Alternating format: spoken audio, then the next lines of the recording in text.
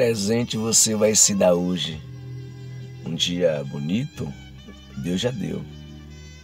Que presente você vai se dar? O que, é que você vai fazer para que seu dia seja maravilhoso?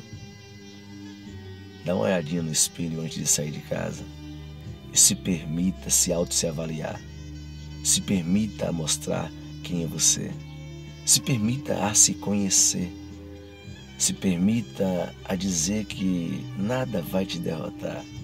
Se permita dizer que você é um extraordinário, extraordinária, é perfeita, é linda, é um gato, é um forte, é um Dan Juan. Se permite a se autoempoderar. O sol, ele sabe que por natureza ele nasceu para brilhar. E você, nasceu para quê? Então brilhe. Bom dia.